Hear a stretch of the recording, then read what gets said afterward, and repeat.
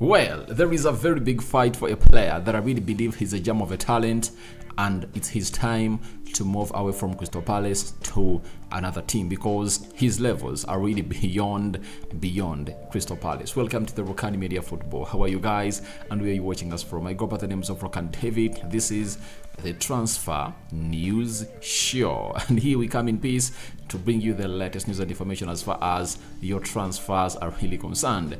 Arteta and Pep are fighting for a Belechi as a signature, guys. It's really heating up and it's coming in from credible sources that you guys are going to go out and really enjoy. Smash the like button close to 400 times. Don't forget to subscribe to this channel so as not to miss out on stories that you do upload in here on a daily. Now, after all that has gone ahead to being rumored around town, Arsenal are not yet out of the transfer window and they're trail pushing.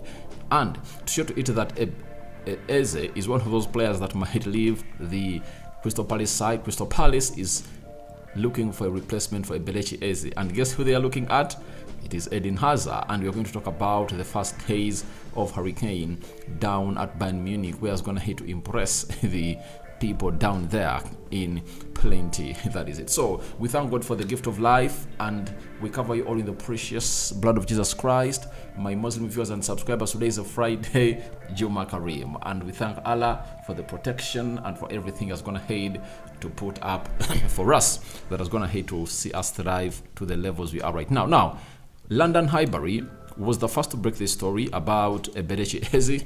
Arsenal inquired about the possibility of signing Eberechi Eze Crystal Palace against selling the player this summer, but a big money offer may convince them to sell before the last day of the transfer window. Eze would like to join a big team and loves the idea of moving to Arsenal. So Ebelechi Eze likes the idea of moving to Arsenal and he obviously proved to Mikel Arteta that he's really a very good talented player. And I think this is what is going to boost Arteta's interest into this player. Because you remember, when they're playing against Crystal Palace, there is a moment that I think Arsenal were just served by the referee not to point at the spot because Ebelechi Eze first went past um, he first went past Ben White. After going past Ben White, then it looks like Thomas Partey clipped him a little bit, right? And he never even poked the ball with his front foot, and Eberechi Eze went down. But if at all you watch that game, you really know the skill that Eberechi Eze used to go past to Arsenal players in a flash. So, to me, Eberechi Eze is a very good player, and for any team that is really needing him, is going to get good, good, good, good talent. Eberechi Eze, we look at him, he's 25 years of age, right? And he has 74 kilograms. He has a height of 1.78. He's an English and Nigerian.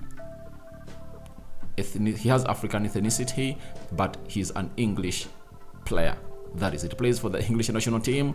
And last season, he went ahead to obviously play 38 games, 10 goals with 4 assists, meaning that if has gone ahead to put up such stats at Crystal Palace, what is he gonna be like if at all he comes in at a club like Arsenal there for you? And the beauty of it is that he was not injured throughout the season. He played the entire 38 games of the season. That is a Belechi easy for you. So Crystal Palace might be really willing to offer this player and obviously sell him if at all some big money comes in through. And I think it can be around 60 or 70 million pounds for Belechi Eze. And the good thing is that he has reached his prime. He has reached his prime, and Arteta is really inquiring about the player and his availability. But as Arteta is coming into the player, there is a very huge story coming in from Nizaar Kinsella and Dom Smith, football reporter for the Evening Standard of for the Evening Standard. Both work for the Evening Standard, but Nizaar Kinsella is really the most credible of the two. Now, he's telling us that Man City are considering making an official bid for Eberechi Eze. Crystal Palace are expected to tell any club to inquire about Eberechi Eze's availability that 70 million pounds is the lowest they would consider selling for him. That's what London Highbury told you about that if it's not big money, they are not willing to cash in for the player, meaning that Ebelechi Eze is wanted by two teams, Arsenal and Man City. Now, this is not the first time Arsenal and Man City are tussling hit out for the player. the recent battle was in between Arsenal and Man City on Declan Rice. Arsenal first made a bid of 75 plus 15 million pounds. It was rejected. Then they made a second one of 85. Mm, they made another one of 80, 80 plus 15 million pounds. It was rejected, and that tempted Man City to go in with a bid of 90 million pounds.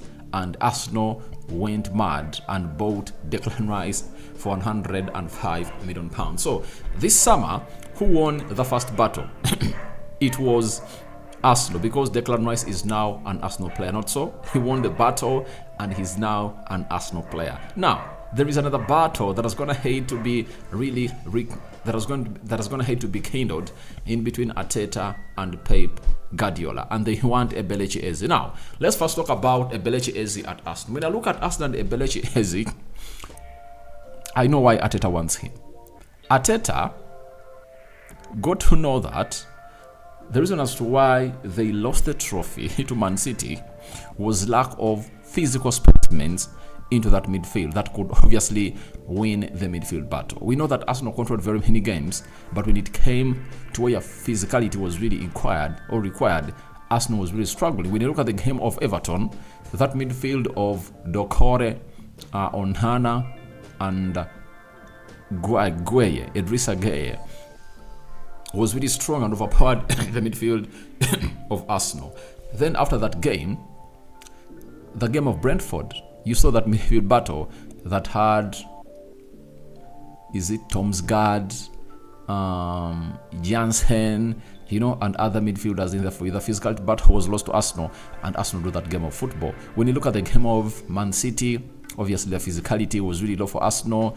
West Ham drawing 2-2. So the games that saw Arsenal lose the trophy, Arsenal never lost them that they never really scored goals. The physical battle failed us Arsenal to win those games. That's why you see to it that each and every player Arteta is pointing on is a physical player. Look at Kai Havertz. He's a physical player, you know, with talent. Declan Rice, physical player with talent. And Julian Timber, physical player with talent. Look at Eberechi Eze.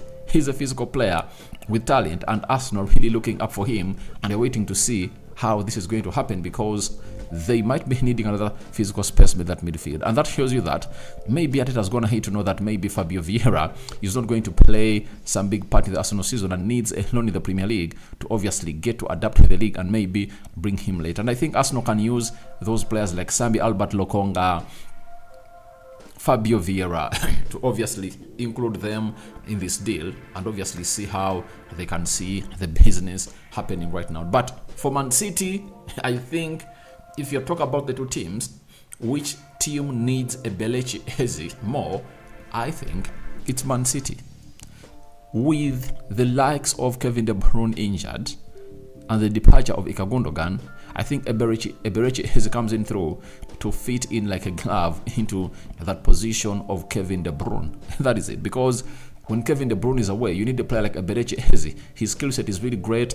He has an eye for goal and he has that line-breaking pass on him. That last pass to release Erling Haaland, Eberechi Eze has it. He has the physical attributes. That means if you're having a midfield three of Rodri, right, uh, Kovacic, and Eberechi Eze, obviously you'll win very many midfield battles because when you're not having Kevin De Bruyne, the creativity really decreases. And Eberechi Eze comes in with that because he is a very good central attacking midfielder. And I'm not sure to see that all these teams are interested in him because every elite team, Man United, Liverpool, Chelsea, are all looking at this player. And, it, and if at all it wasn't for the shortage of the money, they would have gone ahead to obviously go in and obviously get in Eberechi Eze. But Eberechi Eze to me, he's a gem of a talent in the career in the career where he deserves to be playing at and is really showing loads of potential. Even Ekrem Konur came out and told us that Man City continue to be linked with Wolverhampton 24-year-old Portuguese midfielder Matheus Nunes and Crystal Palace's 25-year-old England midfielder Eberechi Eze. But for my case, if I told Man City, I would have gone in for Eberechi Eze because Matheus Nunes is good, but I think he offers a lot as a CDM and a box to box midfielder.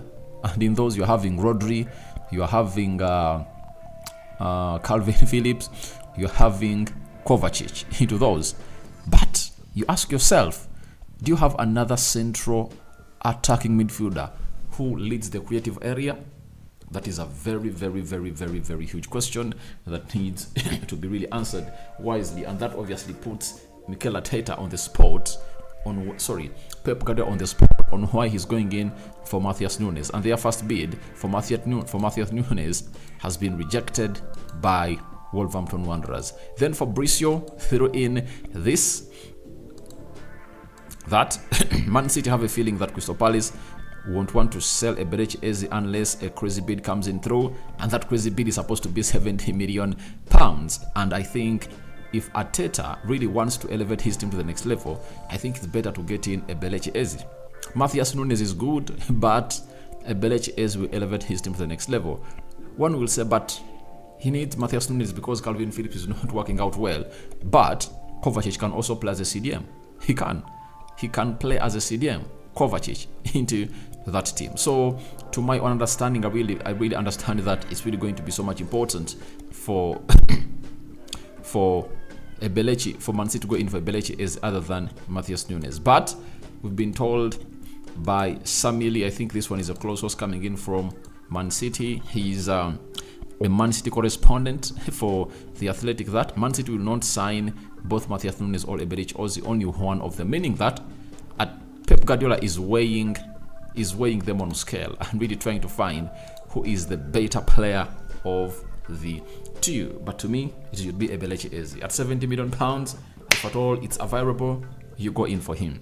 And they couldn't sign the two because of the financial fair play fair play rules. That is it.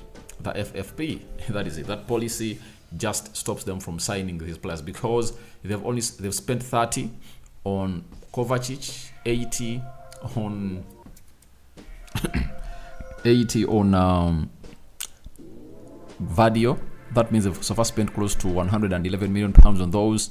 Now, if they bring, they've brought in Doku for like 50 million pounds, that is 160, and they can only stretch, I think, 70 more on one more player to make it close to 240 million pounds. But Pep Guardiola is really in for it. But what shows you that Crystal Palace is willing to sell is this they've already gone ahead to identify a replacement for the player that is Belechi Eze. And we've been told by Steve K that Chelsea, sorry, Crystal Palace are planning to gamble on Belgian free agent Eden Hazard by handing the ex-Chelsea and Real Madrid attacker a one-year contract at Selhurst Park despite his injury problems, meaning that Crystal Palace feel like they don't want to miss out on the opportunity. They want to seize this moment and obviously get in the money. And for 70 million pounds, if you're Crystal Palace, and it's you who obviously got this bad Eberechi Eze from Blackburn, there are very many players you can obviously sign, like you signed Olise, right? So I think it's better for them to find out a solution, sorry, a replacement for Eberechi Eze that is far better than Eden Hazard because Eden Hazard is a very good player. I know he can thrive at Crystal Palace, but he doesn't have that drive. You know, he needs that manager that's going to give him a reason to really put his body on the line. That is it because it looks like he has even won ahead to stand money coming in from Saudi Arabia because he believes he wants to play top football again. And if Atoli comes in the Premier League at Crystal Palace, that will be a very good move for Eden Hazard. But for my case, I think you get him on a free, sell Eberechi Eze to either Arsenal or Man City for 70 million pounds. Do you know what that means? It means you should get another player that can obviously develop in the shoes of Eden Hazard so to it that they can get the next Belechi Eze. So let's wait and see how that pans out, but it shows you that they are willing to sell provided a crazy fee is tabled on the table. Lastly, Harry Kane signed for Bayern as so far going to hate to play three games. And I think I was going to hit score one goal and put up one assist. That is Harry Kane for you. and We've been told by the Bild that Kenny's first days at Bayern Munich have been impressive, not only footballing wise, but also from a human point of view. he tried to get as close to the fan to the fans as possible and fulfilled all autograph and selfie requests. Before his first training session, mm, he greeted every single steward with a handshake. That is coming in from that is coming in from the Bild. Now, it shows you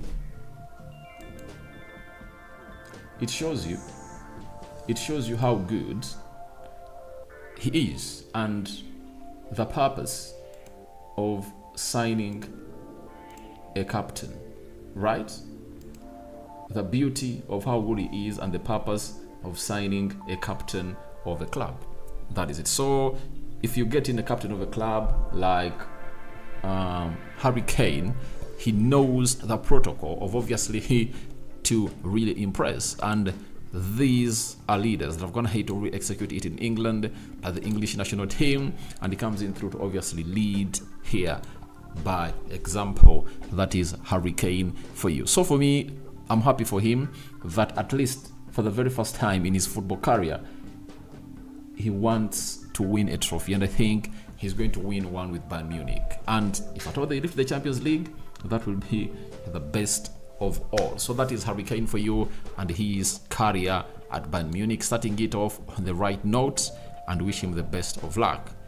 And I call for your reactions into the Arteta and Pep Guardiola fighting for Eberechi Eze's signature in the comment section below. What do you make about Eden Hazard being tipped to be the replacement of the player of Crystal Palace, Eberechi Eze? And lastly, Harry Kane's first impressions at Bayern Munich. What you make about them? I cover you all in the precious blood of Jesus Christ. May the living to God bless you abundantly. My Muslim viewers and subscribers, Barak Laufikum and Juma Karim. See you later in the next three or four hours from now. I'm out. Bye bye.